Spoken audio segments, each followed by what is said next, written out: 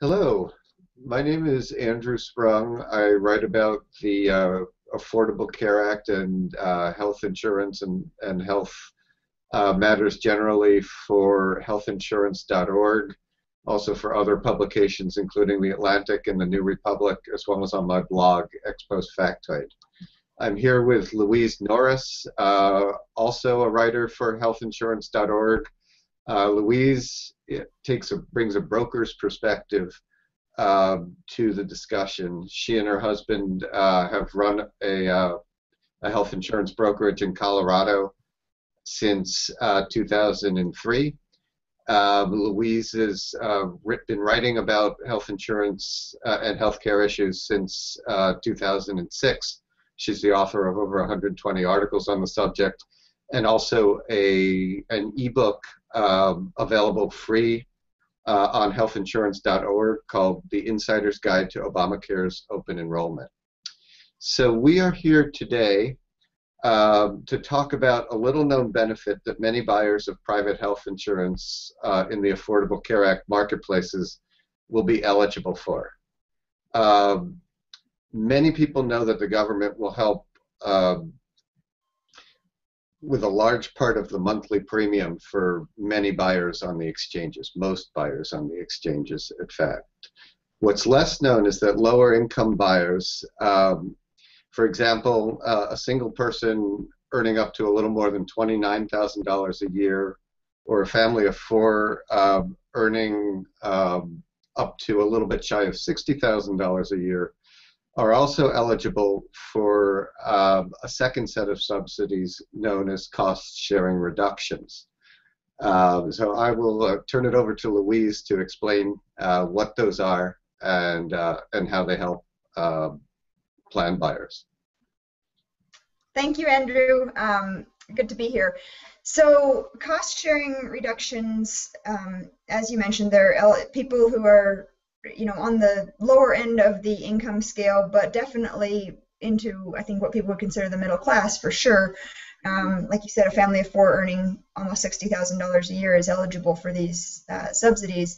And basically, the way they work is the if you select a silver plan in the exchange, if you're in that income range and you select a silver plan, you get it's sort of a boosted up silver plan. You get um, better benefits. And there's there's two ways they they do that. First of all your the average percentage of your costs that you have to pay um, right from the get-go is lower. And also the total out of pocket that you would have to pay in the event of a, a serious claim is also lower. Um, the impact is very significant for people on the especially on the lower end of the income spectrum um, you know, if a single individual earning $17,000 a year can get a silver plan with a maximum out of pocket of um, $2,250 for the year and also have the plan cover an average of 94% of their costs before that out of pocket is met.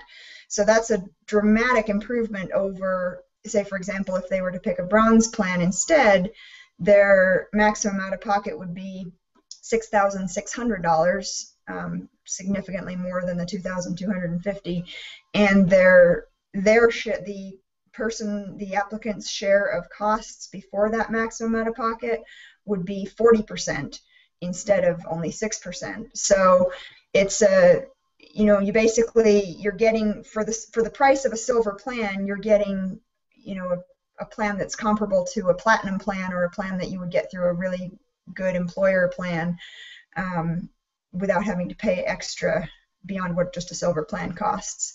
So for people who, who qualify for these plans based on their income, it's just a way to get um, much better coverage um, with the government paying the health insurance company to to increase your benefits and to reduce reduce your out-of-pocket costs. Right. Uh, just, just to flesh that out a little more, if you look at silver plans on the exchange, if you were not eligible for these cost-sharing reductions, uh, for an individual, the deductible might be typically maybe uh, anywhere from fifteen hundred to to three thousand dollars.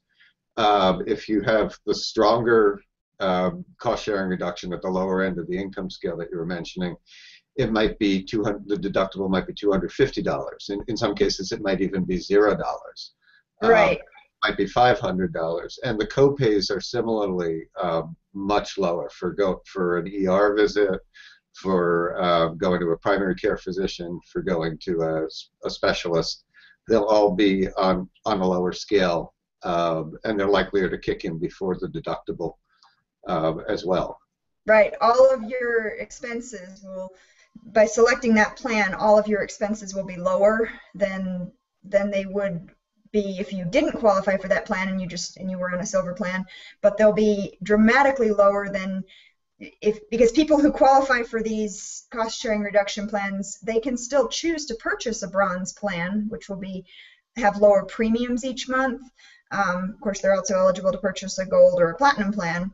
But the silver plans, for people who are eligible for these cost sharing reduction um, plans, the silver plans really stand out as a value because even though they cost a little bit more per month than a bronze plan, if you actually have to use your plan, if you have a medical issue where you need to go in and get treatment, you're going to pay a lot less, um, you know, both on a on a small scale and a large scale in terms of your maximum out of pocket if you were to have a serious issue everything's going to be reduced with those silver plans um, compared with the bronze plan. So you might pay you know 30 40 50 dollars a month more to have a silver plan as opposed to a bronze plan but you also have to think about it in terms of what you're going to end up paying if you need to use your plan. And it's going to be significantly lower on these silver plans, um, especially like I said, if your income is is on the lower end of that spectrum, pretty much any up to about twenty three thousand dollars in income for a single person, um, you it's it's a sig- very significant um, reduction in out of pocket costs and just sort of day to day expenses for medical care um, if you select a silver plan as opposed to choosing a bronze plan. Right. Now, you did mention uh, that a silver plan for an individual will typically be you know, maybe 30 40 50 dollars a month more. Uh, the spread is likely to be larger if you're older. It's likely to be larger if there's more than one uh, person in the household. Um, doing that could potentially save you thousand dollars thousands of dollars a year in actual medical costs if somebody goes to the hospital or if somebody has to have a series of tests or whatever. But give uh, it needs. Uh, I think we need to acknowledge that tens of dollars per month can be a, a, a heavy lift. Tens of dollars per month more can be a heavy lift for somebody uh, with an income, say, under twenty thousand dollars. So um, it needs. Uh, the, the bronze plans can be tempting, even though they cover much less. So let's turn to um, let's turn to how good a job the, the health exchanges do in um, making that trade-off clear to people. A, good broker like yourself, or a, uh, a navigator, um, or a volunteer um, certified application counselor helping people uh, to sign up for insurance on the ACA exchanges will make the trade-offs clear. But what if you're going at it uh, on your own? Um, on our Colorado site, for example, what um, what kind of help would you get? Sure. Um, you know, I think that the the Colorado in Colorado here we have a state-run exchange, and um, you know they do a lot of things really well. But I think this particular area is something that could be done better. And we had 40% of the enrollees last year chose um, bronze plans, which is double the rate nationwide, where only about 20% of people chose bronze plans. And if you look at how the Colorado site handles this issue, I think it becomes clear why that might be. Basically, when you, if you are eligible for the cost sharing reduction plans, there's a little notice that pops up on the exchange site that just says, you know, you may be eligible for premium subsidies and cost sharing reduction subsidy, cost sharing reductions. And then it just continues on and shows you all your plans. And I mean, uh, I think a lot of people don't, when you say cost sharing reduction plans, I don't think a lot of people necessarily know what that means, so people might just skim over that and keep on going. And then the plans, the default is to show the plans based on premium with your cheapest plans first. So of course you're going to have several bronze plans pull up before you even see a silver plan. And in some cases, the bronze plans are very inexpensive. I mean, you know, depending on your income, you can get bronze plans for you know a few dollars a month, um, and the the closest silver plan might be, like I said, even for just one person, thirty or forty or fifty dollars more. So you'd have to scroll down to see it. And then when you do select a plan and you go to put it in your shopping cart and check out, there's no there's no warning or anything like that. If you if you're you know even if your income is just barely into the cost sharing reduction eligibility range, say your income is, you know, $17,000 a year and you've selected a bronze plan, when there's these cost sharing reduction silver plans just a little bit further down the list, it doesn't notify you that you, you know, hey, maybe you want to go back and double check this. Are you sure? There's nothing like that. Um, so you, so I think further people, down the list. people do shop based on premium an, an awful lot, and I think that explains why Colorado had such a large percentage of people selecting bronze plans. Yeah, for sure. I'm sure it was a major part of it. Uh, to be fair to Colorado, it's a relatively wealthy state, and uh, on the whole, wealthier states tended to have more bronze buyers because bronze can make sense for somebody with a little bit more uh, financial resource. If they don't get much of a, if they're not eligible for cost sharing reduction, uh, they don't get, and they don't get much much premium help, and they're reasonably healthy. Uh, they then they may sort of roll the dice and try the bronze plan. Um, but for sure, it's it's one of the exchanges that um, that doesn't give you much help. And, and when you say it starts with, um, it shows you the cheapest plans first. Um, looking at the uh, at the Colorado shop around, there's really a sea of bronze. You have to scroll way down before you'd ever see a plan uh, before you get to the silver. Um, there's no particular demarcation, I don't think, between run between the metal levels unless you unless you consciously choose to filter for that. So it's easy to miss. Uh, healthcare.gov is not perfect, but if you um, are eligible for CSR and you do try to buy a bronze, bronze plan, you get a pop-up warning that says um, that CSR is available with silver plans and not with the plans that you're buying. It doesn't then jump you default you to look at silver plans. Uh, it doesn't actually even make it particularly clear that CSR comes only with silver. Silver is kind of thrown in there as an adjective, and it's easy, I think, to miss. But there is something to think about. It's something to make you pause and think twice. Um, and as you said, um, the 36 states that were on healthcare.gov last year were fairly successful uh, in steering uh, people who are eligible for CSR uh, to silver. Uh, we don't know exactly what percentage of buyers were CSR eligible, but we knew, do know that 15 per, only 15% of buyers who were eligible for any kind of subsidy chose bronze. So that's a pretty good sign. Whereas again, uh, overall in Colorado, 40% uh, chose chose bronze. And in fact, Colorado did break out numbers for people who are eligible for uh, cost sharing reduction and among those eligible for the strongest, uh, only 80% chose silver. Uh, among those uh, with incomes under 200% of the poverty level, uh, which is still quite strong uh, cost sharing reduction territory, uh, only 70% chose silver. So that's that's really not good enough and, and not as good as the, the federal standard in some other state exchanges. So I guess our little message to Colorado is is flag the CSR. Is it, does that seem fair to say?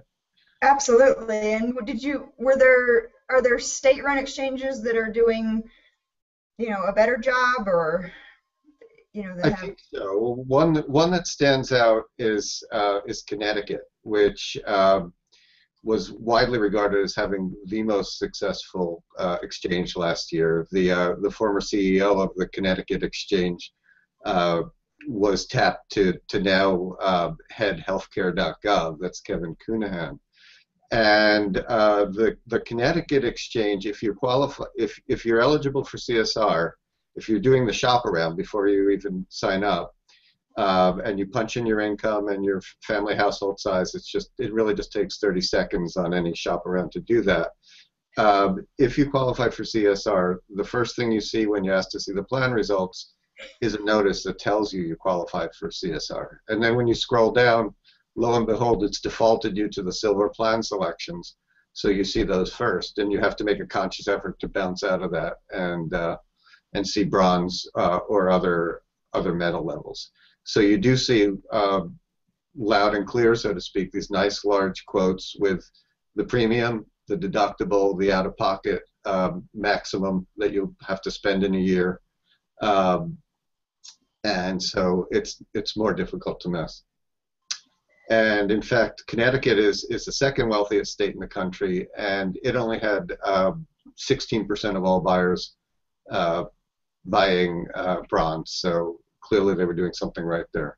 Right, and I think you know, in terms of overall average income, Colorado probably should have been in that same general category. Um, you know, like you said, the 30% of people with incomes under 200% of the poverty level, which you know for a um, for a single individual, you're talking $23,000 a year.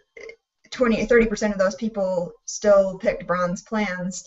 You know, well, some of them may have, picked, may have picked gold or platinum, but probably. Or gold or platinum, that's true. That is true. Um, but did not pick silver plans. Um, and you know, based on based on their income, my guess is a lot of them did pick bronze plans. Mm-hmm. And you know, you can't explain it away based on Colorado's higher than average income. There's definitely something to it with the fact that Connecticut is doing such a good job of steering people towards those silver plans. Um, you know, I don't think people necessarily even know that the cost sharing reductions are out there, and so, you know, if you have a good broker or you you know talk to a navigator or you call in and you get personal assistance you, then you're going to find out about the cost sharing reduction plans. But if you're just scrolling through on your own um, you know i think that's an, a key area where the websites need to make sure they're sort of directing people towards you know what would be probably the best option. That's not necessarily to say that a, a, silver plan is always the best choice for people who qualify for cost sharing reduction subsidies. You know, it's a it's a personal choice, and everyone who, um, you know, you always have the choice of a bronze, silver, gold, or platinum plan. Um, but it's and also I think for the people on the higher end of the cost sharing reduction eligibility range, like uh, for a single person, um, an income between about 23,000 and about 29,000 per year, you do still qualify for the cost sharing reductions, but it's not as dramatic as it is, you know, in terms of the added benefit. It's not as dramatic as it is for somebody, you know, making 17 or 18,000 dollars a year. Um, I think the general a general rule of thumb would be, you know, up to about $23,000 a year for a single person. Um, really look twice or three times at those silver plans before you choose to go elsewhere um, because you know for most people in that range they are going to present the best value. That, that that is a good rule of thumb. The, the cost sharing reduction if you're over 200% of the uh, of the poverty level is is only a very modest bump above um, the cost of a silver plan without without the benefit. So there the you know, people in that range might think about the trade-off with bronze. Some bronze plans in some areas um, do have some uh, benefits that kick in before you hit the very high deductibles. They might have uh, decent copays for physician visits, or they might have low costs for generic drugs, um, regardless of whether you've gotten anywhere near the deductible. So then, and of course, all plans in the ACA exchanges have um, have free preventive services like birth control and screenings for things like cholesterol, colonoscopy. Uh, so everybody should get some benefit out of out of any plan in the exchange, uh, but uh, for a lot of low-income people, there'd be very minimal benefit unless something catastrophic happens to having a bronze plan. Right, exactly. And and if something catastrophic does happen, you know, you need to keep in mind that with those if you if you had selected if you select a cost sharing reduction plan, your worst case scenario is better on those plans than it would be with a bronze plan. You know, your maximum out of pocket, not only are they paying more for just your regular day-to-day medical expenses, but your maximum out of pocket on those cost sharing reduction plans is lower than it would be on a on a bronze plan. So Right. I think the takeaway point um, for people is just to don't just scroll through and look at the lowest premium and take that plan. I mean, you really need to, if you know, get seek out help if you need it. There's in-person help available in your communities, on the phone, online. You can definitely find somebody who can help you. Um, and if you do want to do it, and, and it's you never pay anything for any of that help. A navigator, a broker, online, over the phone, you it's all free. The assistance to enroll. But if you do want to do it on your own, um, make sure you're taking enough time to really crunch some numbers and look at the details of the plans. Um, you don't want to just pick a plan based on its price. Well, that seems a, a good takeaway and probably a good good place to stop. So uh, it's been great talking to to you, Louise, and uh, let's do it again soon. Sounds good. Thank you, Andrew. Great talking with you too. Take care.